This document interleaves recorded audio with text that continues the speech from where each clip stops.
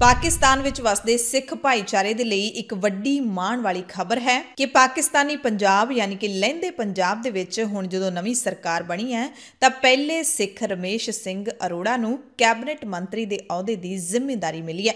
ਯਾਨੀ ਕਿ ਪਾਕਿਸਤਾਨ ਦੇ ਵਿੱਚ ਪਹਿਲੀ ਵਾਰੀ ਕੋਈ ਸਿੱਖ ਕੈਬਨਿਟ ਮੰਤਰੀ ਬਣਿਆ ਹੈ। ਕੁਝ ਦਿਨ ਪਹਿਲਾਂ ਰਮੇਸ਼ ਸਿੰਘ ਅਰੋੜਾ ਨੂੰ ਪਾਕਿਸਤਾਨ ਗੁਰਦੁਆਰਾ ਪ੍ਰਬੰਧਕ ਕਮੇਟੀ ਦਾ ਚੇਅਰਮੈਨ ਵੀ ਨਿਯੁਕਤ ਕੀਤਾ ਗਿਆ ਸੀ। ਯਾਨੀ ਕਿ ਪਾਕਿਸਤਾਨ ਪ੍ਰਬੰਧਕ ਕਮੇਟੀ ਦੇ ਚੇਅਰਮੈਨ ਹੋਣ ਦੇ ਨਾਲ-ਨਾਲ ਹੁਣ ਉਹ ਲਹਿੰਦੇ ਪੰਜਾਬ ਦੇ ਕੈਬਨਿਟ ਮੰਤਰੀ ਵੀ ਹਨ। 8 ਫਰਵਰੀ ਨੂੰ ਹੋਈਆਂ ਆਮ ਚੋਣਾਂ ਦੌਰਾਨ ਪਾਕਿਸਤਾਨ ਮੁਸਲਿਮ ਲੀਗ ਨਵਾਜ਼ ਸ਼ਰੀਫ ਦੀ ਪਾਰਟੀ ਨੂੰ ਪੰਜਾਬ ਸੂਬੇ ਦੇ ਵਿੱਚ ਬਹੁਮਤ ਮਿਲਿਆ ਸੀ। ਨਵਾਜ਼ ਸ਼ਰੀਫ ਦੀ ਧੀ ਮਰੀਮ ਲੈਂਦੇ ਪੰਜਾਬ ਦੀ ਪਹਿਲੀ ਮਹਿਲਾ ਮੁੱਖ ਮੰਤਰੀ ਬਣੀ ਸੀ। ਉਹਨਾਂ ਦੇ ਚਾਚਾ ਸ਼ਾਬਾਸ਼ ਸ਼ਰੀਫ ਦੇਸ਼ ਦੇ ਦੂਸਰੀ ਵਾਰੀ ਪ੍ਰਧਾਨ ਮੰਤਰੀ ਬਣੇ ਹਨ ਤੇ ਮਰੀਮ ਦੀ ਕੈਬਨਿਟ ਦੇ ਵਿੱਚ ਹੀ ਰਮੇਸ਼ ਸਿੰਘ ਅਰੋੜਾ ਨੂੰ ਥਾਂ ਮਿਲੀ ਹੈ।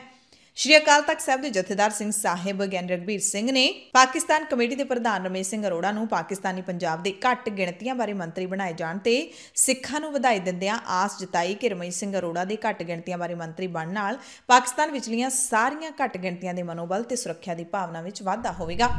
ਬਹੁਤ ਖੁਸ਼ੀ ਦੀ ਗੱਲ ਹੈ ਕਿ ਲਹਿੰਦੇ ਪੰਜਾਬ ਵਿੱਚ ਇੱਕ ਗੁਰਸਿੱਖ ਨੂੰ ਸਤਿਗੁਰਾਂ ਨੇ ਬਹੁਤ ਵੱਡਾ ਮਾਣ ਬਖਸ਼ਿਸ਼ ਕੀਤਾ ਹੈ।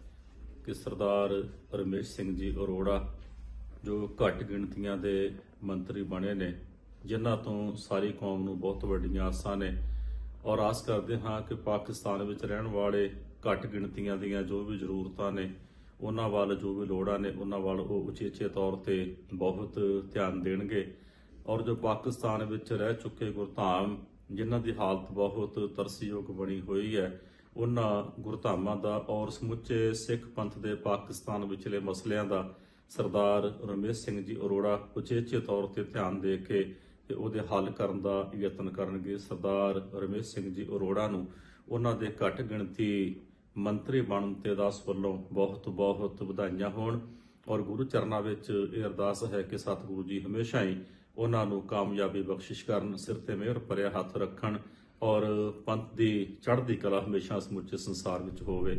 ਐਸਜੀਪੀਸੀ ਪ੍ਰਧਾਨ ਐਡਵੋਕੇਟ ਹਰਜਿੰਦਰ ਸਿੰਘ ਧਾਮੀ ਨੇ ਵੀ ਰਮੇਸ਼ ਸਿੰਘ ਅਰੋੜਾ ਨੂੰ ਵਧਾਈ ਦਿੰਦਿਆਂ ਕਿਹਾ ਕਿ ਰਮੇਸ਼ ਸਿੰਘ ਪਹਿਲਾਂ ਹੀ ਪਾਕਿਸਤਾਨ ਸਿੱਖ ਗੁਰਦੁਆਰਾ ਪ੍ਰਬੰਧਕ ਕਮੇਟੀ ਦੇ ਪ੍ਰਧਾਨ ਵਜੋਂ ਸੇਵਾਵਾਂ ਨਿਭਾ ਰਹੇ ਨੇ ਤੇ ਖੁਸ਼ੀ ਦੀ ਗੱਲ ਹੈ ਕਿ ਉਹਨਾਂ ਨੂੰ ਲਹਿੰਦੇ ਪੰਜਾਬ ਦੇ ਮੰਤਰੀ ਮੰਡਲ ਵਿੱਚ ਵੀ ਘੱਟ ਗਿਣਤੀ ਮਾਮਲਿਆਂ ਬਾਰੇ ਮੰਤਰੀ ਵਜੋਂ ਸ਼ਾਮਲ ਕੀਤਾ ਗਿਆ।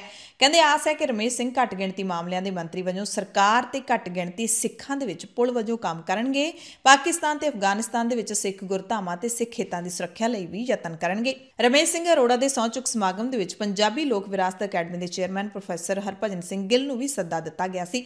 ਉਹ ਗਵਰਨਰ ਹਾਊਸ ਪਹੁੰਚੇ ਤੇ ਉਹਨਾਂ ਨੂੰ ਮੁਬਾਰਕਾਂ ਦਿੱਤੀਆਂ। ਰਮੇਸ਼ ਸਿੰਘ ਅਰੋੜਾ ਨੇ ਸ਼੍ਰੀ ਨਨਕਾਣਾ ਸਾਹਿਬ ਦੇ ਹੈੱਡ ਗ੍ਰੰਥੀ ਭਾਈ ਦਇਆ ਸਿੰਘ ਤੇ ਡਾਕਟਰ ਕਲਿਆਣ ਸਿੰਘ ਦੇ ਜ਼ਰੀਏ ਹਰਭਜਨ ਸਿੰਘ ਗਿੱਲ ਨੂੰ ਸੱਦਾ ਭੇਜਿਆ ਸੀ, ਜੋ 33ਵੀਂ ਵਿਸ਼ਵ ਪੰਜਾਬੀ ਕਾਨਫਰੰਸ ਦੇ ਲਈ ਲਾਹੌਰ ਪਹੁੰਚੇ ਸਨ। ਲੰਗੀ 8 ਫਰਵਰੀ ਨੂੰ ਪਾਕਿਸਤਾਨ ਦੇ ਵਿੱਚ ਆਮ ਚੋਣਾਂ ਹੋਈਆਂ ਸਨ। ਇਮਰਾਨ ਖਾਨ ਦੇ ਆਜ਼ਾਦ ਉਮੀਦਵਾਰਾਂ ਨੂੰ 100 ਤੋਂ ਵੱਧ ਸੀਟਾਂ ਮਿਲੀਆਂ ਸਨ। ਦੂਸਰੇ ਨੰਬਰ ਤੇ ਨਵਾਜ਼ ਸ਼ਰੀਫ ਦੀ ਪਾਰਟੀ ਪੀਐਮਐਲ ਐਨ ਬਣੀ ਸੀ।